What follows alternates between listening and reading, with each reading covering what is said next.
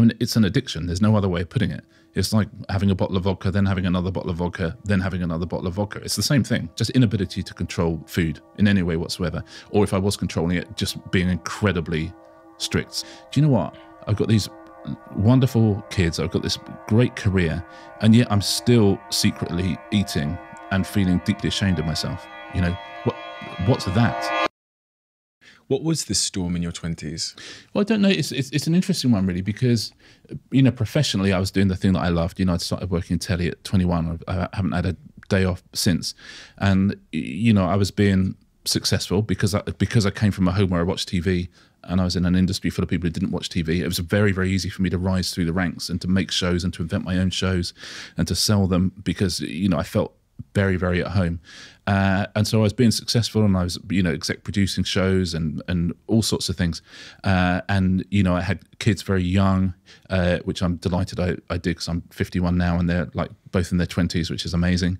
You know, what my big presenting issue was was was was a, was a food addiction and, and, and weird behavior around food, which which I can sort of see would be what a nine year old would have would have set up for himself. Uh, and what do you mean by that? Well, I think if you if you are going to be an addict, which is almost always how do I run from this pain? How do I run from the fact that you know I'm not where, where, where I need to be? When you're nine, food is probably the only thing that's available to you. Food attachment, maybe you know, there's there's there's, there's only a certain amount of things a, a nine year old uh, has at their disposal. Hot Wheels. I mean, there's there's not a lot you can get addicted to, uh, and so you know, I, I would have addictive behaviors around food, and that I never sat and thought, oh, I've got a problem with my life. Right? I never thought that. I never thought, oh, you know, I'm I'm not who I'm supposed to be. But but what I definitely thought was, why why do I have these eating behaviors? That's weird. Uh, and then a way that explained my weirdness away for me. I went, you're weird because because you you have this weird eating patterns. That's the thing that makes you weird. And you think, no, that's, that's lots of things that make me weird. Um, and so that's the thing that I went to get help for you know, so that's the first time I went into therapy, uh, which again, from my background, is not something I would have considered.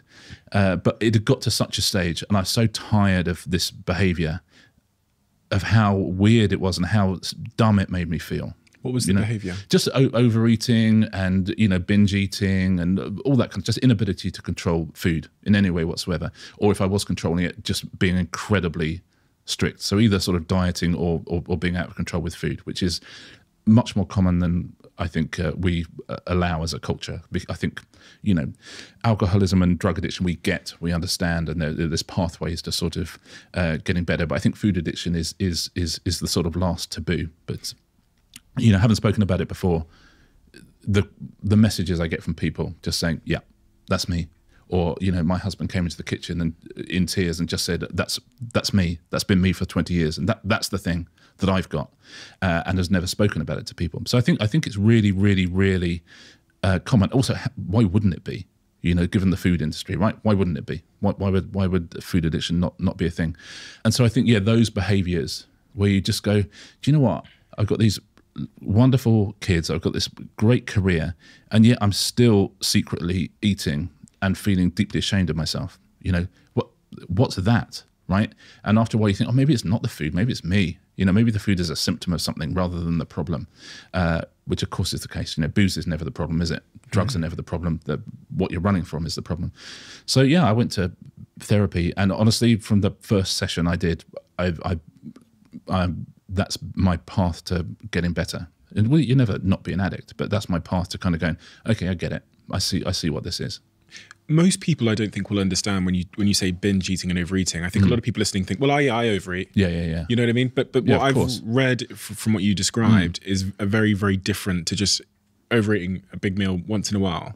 Can you give me some detail as to what you mean by? Yeah, and again, look, it's it's it's shaming for me to do so, but but a good example would be, I remember one of the first years, with with a, you know, talking to the therapist about it, and and it was it was sort of mid December, so I wasn't going to see him for a few weeks.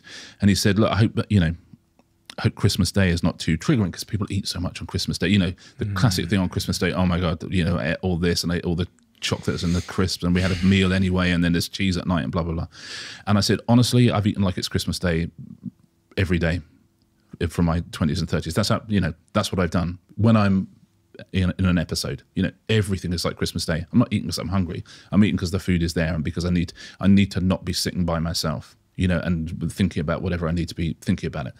So you know, it's that it's that idea. It's that it's, it's that sort of. It's not oh, aren't I naughty? I had a cream cake. You know, it's aren't I naughty? I had a cream cake, and then I had the other three, and then 20 minutes later, when like there's the, even the tiniest amount of space, I went out and got some more food. You know, it's that. It's it's. I mean, it's an addiction. There's no other way of putting it. It's like having a bottle of vodka, then having another bottle of vodka, then having another bottle of vodka. It's the same thing. Uh, and the second you shine a light on it, listen, some people listening will will uh, won't believe it exists. That's by the way absolutely fine. You know, it's listen, we believe what we believe, but I'm talking to the people for whom this behavior might feel familiar, or who've got friends or relatives to whom this behavior might feel familiar. It's real. You know, it's a real thing, uh, and it's quite hard to get your way out of because you have to eat, right? But there's ways through it, and the first way through it is to shine a light on it and just say, "Oh no, no, no, that's uh, that's me," and to and to and to try and take that shame away from it a bit. When did you realize that it was a, in your own words, a strange behavior? Because I've got a friend who's been through a similar. Well, I've got two friends who've mm. been through very similar things. Um, one of them's, I mean, they're the two closest people, and you know, I know they've both talked about it very publicly. Um, one of which in a podcast, one of which does talks. She talks about it all the time on her Instagram, mm. and I've the two closest people in my life went yeah. through that, and for one of them, who again she's talked about this publicly, um, that resulted in bulimia, um, and a bunch of other very uh, destructive eating patterns. How did you figure out that that it was different? Well, I think you you can't you know you can you can fool everybody except yourself you know, finally. And just, you know, a lifetime, you know, when I was a kid, I, I, would secretly eat and I would find ways to get food and to, you know, and my mum would go, oh, where have all those crisps gone? That's weird. And you'd be like, and, you know, then she started hiding the crisps in places because she thought they kept going missing. Just every day of every month of every year since then, just just hunting down and finding the food that I wanted.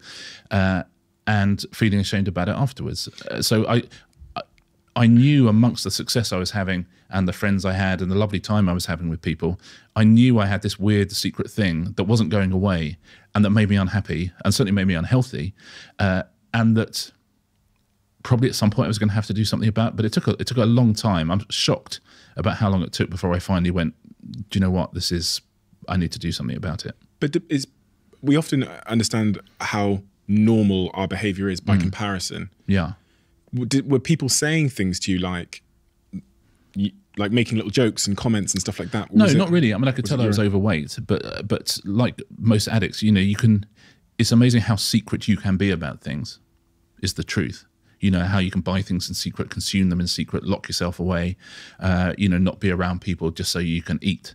Um, you know, and plus, of course, don't forget you can then go out for a pizza with all your mates who are having their one meal of the day and you've been eating all day but you think great i get to have a pizza as well. So you know socially you can eat a lot as well and then go home and eat more and mm. eat more convenience foods and and and what have you. Um, so yeah i always knew i always knew it was i knew, always knew something was wrong. But again i think probably i'd added it to the list of things that were weird about me that I'm tall and I can't see and I got this weird food thing. So I just thought, you know what? You're not really fit for this world, is the truth. You know, and you have all of these things that are up with you. So I think I just put it in the list of things that I wasn't probably, I wasn't built to live the life that other people were living. And again, of course, these days, you realize everyone is. Everyone's not built. Everyone goes home and does something weird. Not everyone, but you know what I mean. Mm. People, so many people have got their thing, but I didn't know that in, in those days. I didn't know. I just thought I was uniquely, you know, not fit for these times. If you love the Diary CEO brand and you watch this channel, please do me a huge favor. Become part of the 15% of the viewers on this channel that have hit the subscribe button. It helps us tremendously, and the bigger the channel gets, the bigger the guests.